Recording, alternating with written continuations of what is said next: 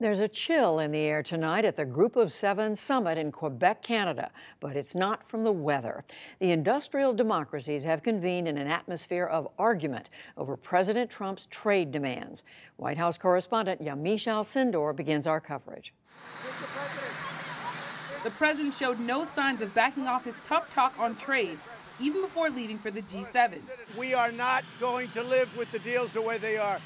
European Union treats us very unfairly. Canada, very unfairly. And amid strained relations with allies, he argued that Russia should return to the G7. Moscow was evicted from the meeting after it annexed Crimea in 2014. Why are we having a meeting without Russia being in the meeting? They should let Russia come back in because we should have Russia at the negotiating table. From there, it was on to Quebec, in a sudden schedule change that reflected the tensions. A planned morning meeting with French President Emmanuel Macron was canceled. They met briefly on the sidelines after trading barbs in the run up to the summit. Yesterday, Macron tweeted The American president may not mind being isolated, but neither do we mind signing a six country agreement if need be. Mr. Trump answered with a claim that, quote, the EU trade surplus with the U.S. is $151 billion. In fact, the EU's trade surplus is $101 billion when trade and services is included. Today, he fired off a new attack on European Union members and Canada, vowing to end what he called unfair trade practice against the U.S. The president has repeatedly threatened to terminate NAFTA, the North American Free Trade Agreement, unless it's revised.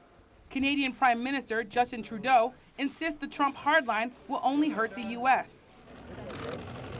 Even so, they appeared cordial at their first encounter today. There we go.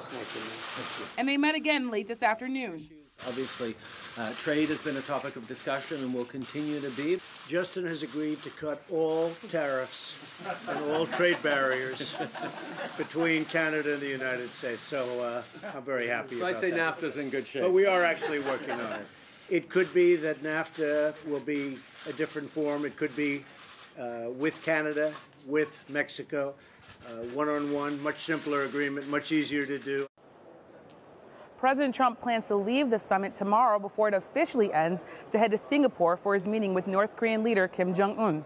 Judy? We heard uh, President Trump, Yamiche, uh, say earlier today that he'd like to see Russia come back into the G7. What do the other leaders there say about that? Well, despite President Trump wanting Russia back at the negotiating table, most of the members of the G7 today flat, flatly rejected that idea. They say that they do not want to see Russia come back here. Canada released a statement through a spokesperson saying that that country's position has not changed. Several EU members, European Union members, also said that they do not want to see Russia back here, but Italy's new prime minister, a populist prime minister, said that he agrees with President Trump and says that Russia should be back for everyone's interest.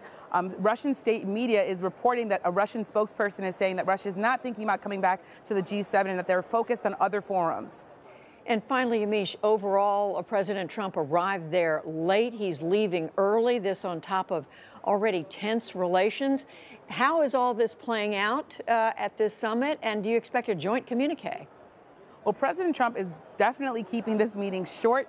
Um, he's leaving Saturday morning before a meeting on climate change. He's sending an aide, but a lot of our allies want to speak to President Trump about his stance on climate change. Now, Reuters is reporting that there is going to be a joint communique released by all seven members. Now, that's very important because the United States will be included in that, they're saying. The joint communique would be focused on election meddling. All seven members would say that they would share information about the internet and social media to prevent foreign leaders from meddling in elections. That's very important because Russia has been accused of meddling in foreign elections. Yamiche Alcindor covering the summit for us in Quebec. Thank you. Thanks, Judy.